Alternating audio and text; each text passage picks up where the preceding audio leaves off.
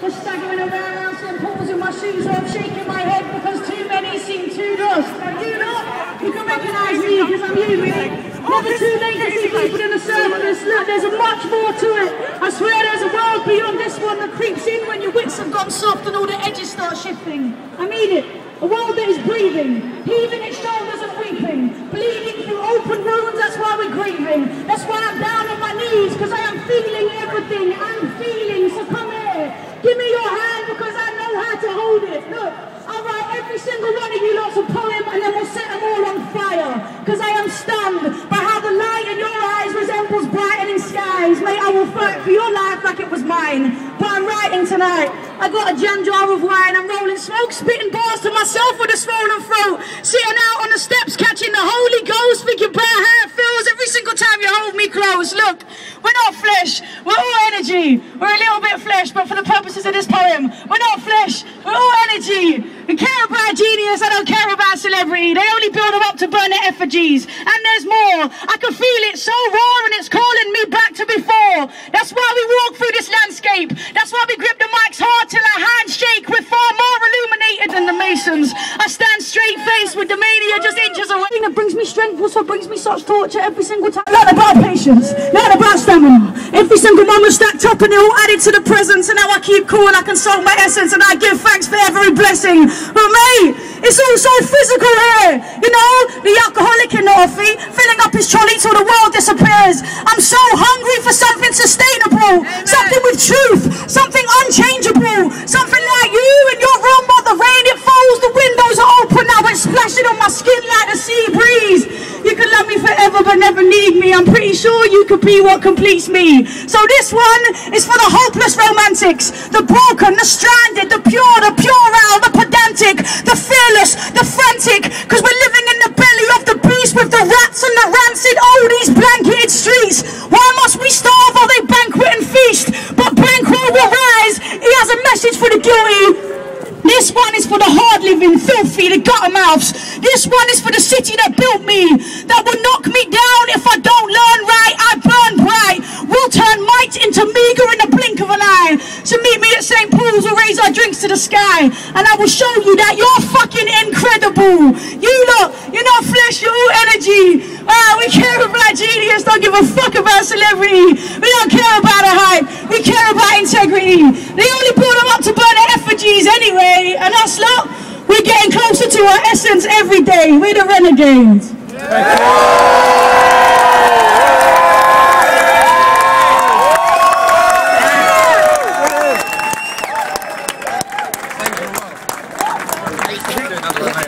guys get your geeks by bicycles?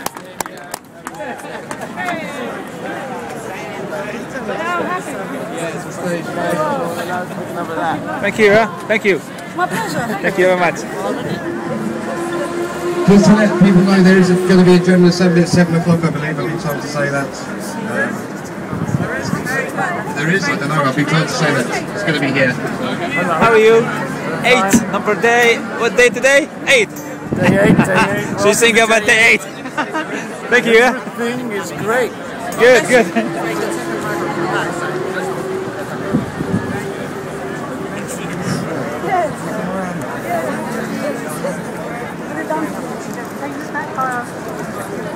If anybody wants to go to Finsbury Square, there's a group leaving. They just go out there on my right, your left if you're facing me. Bus, bus And they're waving their hands. Bus 76. Or you can jump on bus 76. We'll take you there.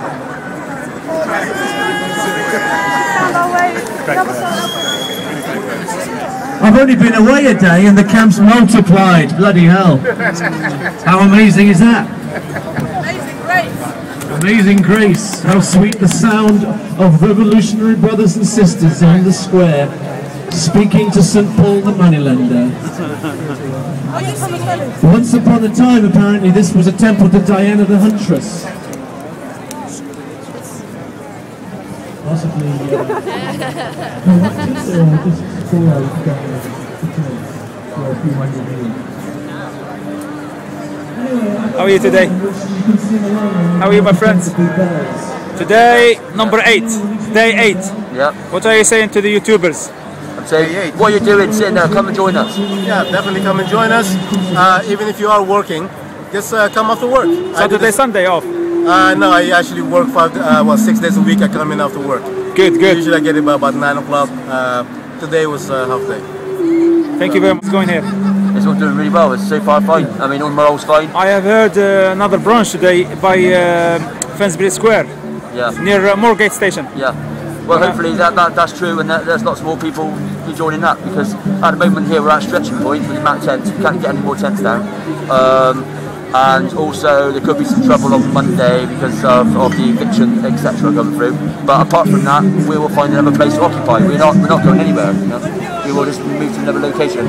So they Uh, told you to leave here by Monday. Uh, they want us to, but they have to get a court, uh, court order out, and uh, that court order would have to probably take about a week, unless they actually rush it through, which is most likely thing, which could take a couple of hours. I can see But the number is Monday- double by three. You know, Yeah, a but Monday is Monday is the, the, the, the day where it will go to court, and we will have to see what happens then. Good luck, Ska. Okay. Thank you very much. Take care, yeah? And you. Bye bye. Thank you. How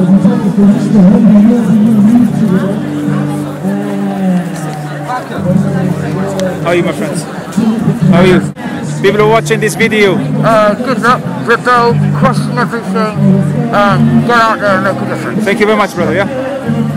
Hello. As you believe today is day eight, what are you? What do you want to say to people watching this video? Uh, just join us. Join us. Thank you very much. Thank You're you. welcome.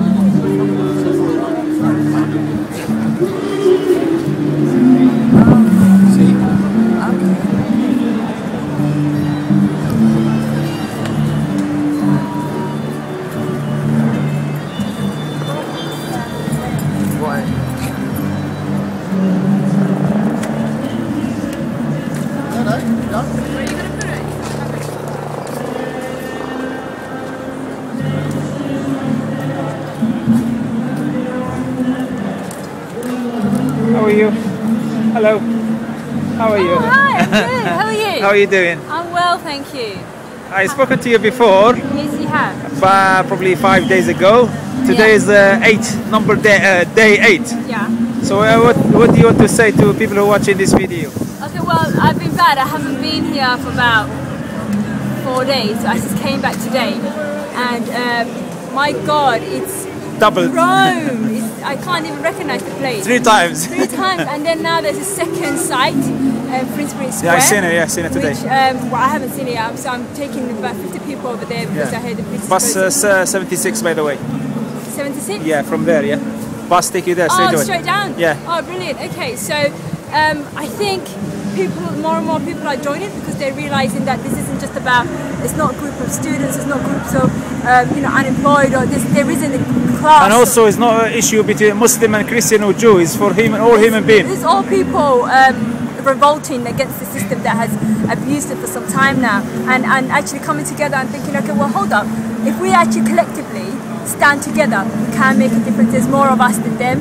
So it is a beautiful thing to see. It's, I think it's a great moment of awakening for people, and I think more and more people are joining by the day. But I really do think that the average person at home should feel relatable to this issue because it's something that affects all of us and we're all calling for the same thing. So I, I call for people to join and this is what democracy looks like. So Thank you. please come and take part and, and even if you don't want to occupy overnight, you come and see what the site is like, talk to people and you, you find out actually the more you talk to the more you have in common with people. Yes, yeah. And the more they're, they're the ordinary person that you see every day. Yes, and also this is uh, wrong against uh, the, uh, the right against, against the right against, against the wrong. Yeah. It's like 99% uh, right and 1% is 1%, wrong. 1% is wrong. So, and, and, and I genuinely believe we're not, we're supposed to be a developed country, you know, Yes. we're supposed to be one of the richest countries, but our economy is not far different from the, the developing world. So if you're going to give people um, a third world economy, you're going to get, you know, third world politics back, and that's civil disobedience, that's people revolting and uprising against Yes. you and what you, are, you know, what policies that you are designing to keep the people down. And I think this will continue to grow. Thank So you very much. To see people watching Good luck, here. yeah. Thank you very much. Thanks. Bye bye.